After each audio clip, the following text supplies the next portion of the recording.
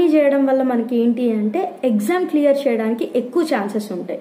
And మనం ఏదైతే అనుకున్నామో అంటే మన డ్రీమ్ ఏదైతే ఉందో అది సక్సెస్ అవ్వడానికి కూడా స్కోప్ అనేది ఎక్కువగా ఉంటుంది. So please notification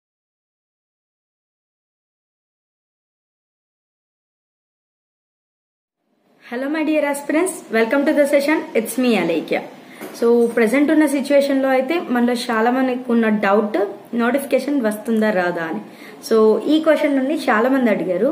సో ఆ డౌట్ని క్లియర్ చేయడం కోసం ఈ సెషన్ని చేస్తున్నాను అనమాట మనలో చాలా మందికి కాంపిటేటివ్ ఎగ్జామ్స్కి ప్రిపేర్ అవ్వాలి. సో మంచి డిజిగ్నేషన్లో ఉండాలి అనే ఒక కోరిక ఉంటుంది. దానికోసం ఎంతో కష్టపడుతూ ఉంటాం కూడా. అండ్ ఆ కష్టానికి ఫలితం కోసం మనం వెయిట్ చేస్తూ ఉంటాం.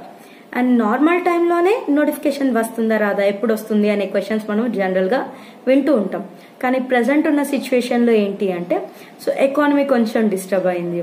సిచ్యువేషన్ బాగాలేదు ఒకవేళ ఇన్స్టిట్యూట్కి వెళ్ళి కోచింగ్ తీసుకుందాము అనుకున్నా కూడా సో గ్యాదరింగ్ అంటూ యాక్సెప్ట్ చేయండి ఇలాంటి టైంలో చాలా మంది ఏం చేస్తున్నారంటే ప్రిపరేషన్ నుండి డైవర్ట్ అవుతున్నారు.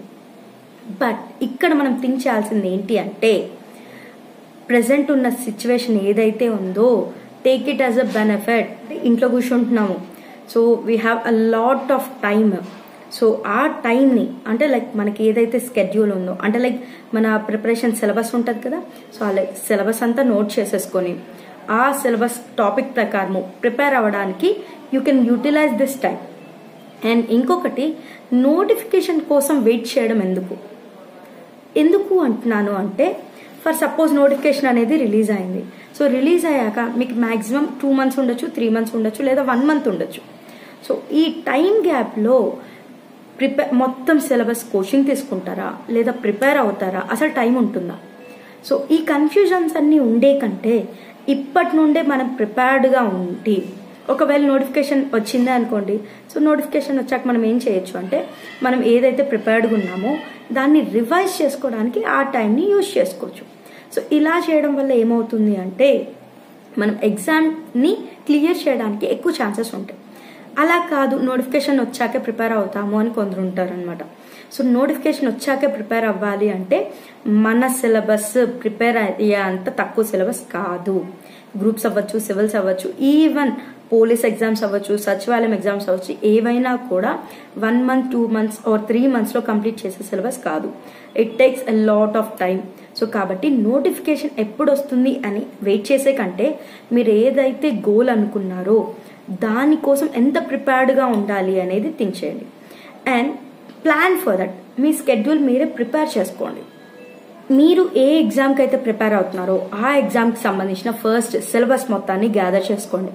అండ్ ఏదైతే సిలబస్ ఉందో ఆ సిలబస్ నుండి ప్రతి టాపిక్ని నుండి లైక్ డిఫరెంట్ వెబ్సైట్స్ ఉన్నాయి యూట్యూబ్లోనే క్లాసెస్ ఉన్నాయి అండ్ డిఫరెంట్ ప్లాట్ఫామ్స్ ఉన్నాయి. వాటి నుండి ఇన్ఫర్మేషన్ని గ్యాదర్ చేసుకొని మీకు మీరు సెల్ఫ్ నోట్స్ అనేది మెయింటైన్ చేసుకోండి.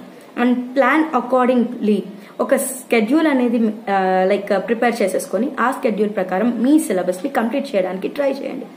And we have a lot of source so అవి న్యూస్ పేపర్ అవ్వచ్చు లేదా ఆన్లైన్ క్లాసెస్ అవ్వచ్చు లేదా డిఫరెంట్ వెబ్సైట్స్ అవ్వచ్చు.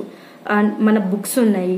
సో ఇలా డిఫరెంట్ సోర్సెస్ నుండి కూడా మీ టాపిక్స్కి కావాల్సిన సిలబస్ని గ్యాదర్ చేసుకొని అండ్ ఆ టాపిక్కి కావాల్సిన ఇన్ఫర్మేషన్ని కూడా నోట్ చేసుకొని ఒక మంచి నోట్స్ని ప్రిపేర్ చేసుకోండి. So utilise this time.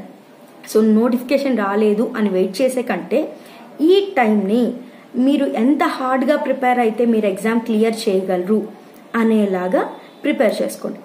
So ఇవన్నీ చేయడం వల్ల మనకి ఏంటి అంటే ఎగ్జామ్ క్లియర్ చేయడానికి ఎక్కువ ఛాన్సెస్ ఉంటాయి. అండ్ మనం ఏదైతే అనుకున్నామో అంటే మన డ్రీమ్ ఏదైతే ఉందో అది సక్సెస్ అవ్వడానికి కూడా స్కోప్ అనేది ఎక్కువగా ఉంటుంది.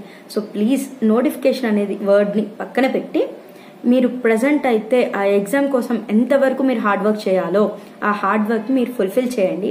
అండ్ మేబీ uh, కొంచెం డిలే అవ్వచ్చు. Let the economy get normal so economy normal అవుతూనే ఆటోమేటిక్గా నోటిఫికేషన్స్ రిలీజ్ అవుతాయి.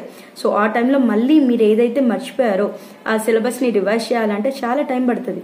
సో కాబట్టి ఇప్పటి నుండి ప్రిపేర్డ్గా ఉండండి. Make your own schedule and be patience and good luck thank you